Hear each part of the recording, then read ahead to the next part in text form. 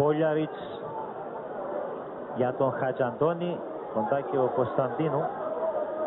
Γυρίσει η μπάλα πίσω στον Κόζη στο λάθος και ο Χατζαντώνης ε, θα πετύχει το δεύτερο γκολ από αυτό το ε, τραγικό λάθος ε, του Αλεξάνδρ Κόζιτς από κοντά προκενής εστίας πλέον χωρίς κανένα πρόβλημα σπρώχνει την μπάλα στα δίχτυα